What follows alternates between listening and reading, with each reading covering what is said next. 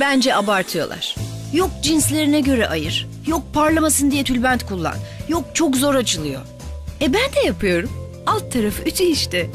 Getiriyorum ay tempo ayarına. Her cins kumaşı ütülüyorum. Getiriyorum anti shine ayarına. Koyu renklerde ne parlatma ne bir şey. Takır takır kuru çamaşırları bile kolayca açıyor. Yağ gibi kayıyor. Ama haksızlık yapmış olmayayım. Belki de ütümdendir.